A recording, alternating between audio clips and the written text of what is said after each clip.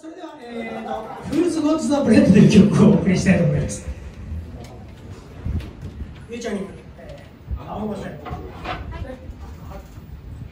一台一台。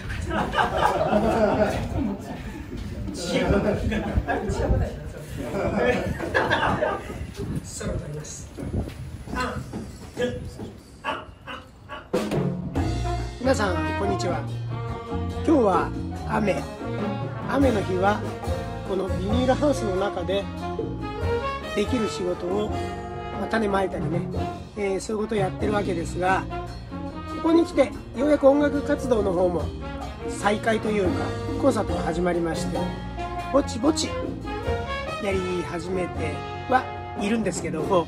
まあ、なかなか皆さんに発表できるようなものがなかなかというかね、えー、まあ、一番敷居が高いのは自分のグループのライブですね、えー、もうみんな仲間は始めてるんですけどもどうも私は腰が重くやろうと思えばできないことはないんですけれどもね、まあ、一番大きい理由はその今までホームとしていた平城っていうね、えー、横浜のライブハウスがなくなってしまっていたこと。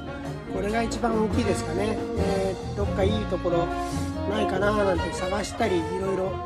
そんなことしてるうちにどんどん時間が過ぎていくというね、えー、そういうことでもたもたしてます。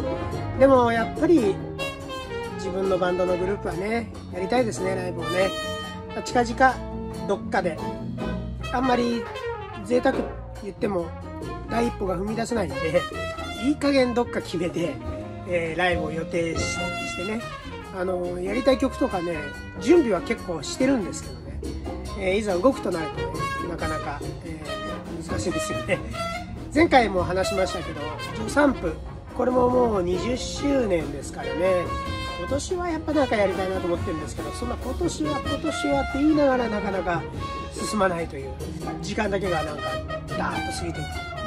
くそれでは今回も演奏をご覧いただきたいと思うんですけれどもちょうど去年の10月かなやっぱりねこれこれが最新の映像ですからね去年の10月に、えー、行った、え、横浜のね館内馬車道メグスタでやった、まあ、最後になったんですけども、えー、その演奏をお聴きください。曲はモンゴサンタマリアの「えー、Who's Got the Bread」え、モンゴサンタマリアっていうのは 隣のおじさんなんですけどね。前も話しましたけど隣にモンゴサンタマリアそっくりなおじさんが、いるかな、えー、いるんですけども、えー、そんなわけで、えー、近々ライブの予定をねしたいと思います、えー、それまでは畑でいろいろやって過ごしたいと思います。あ今日はこれです。これは何でしょうか？オクラです。私のライブがお蔵入りしないように。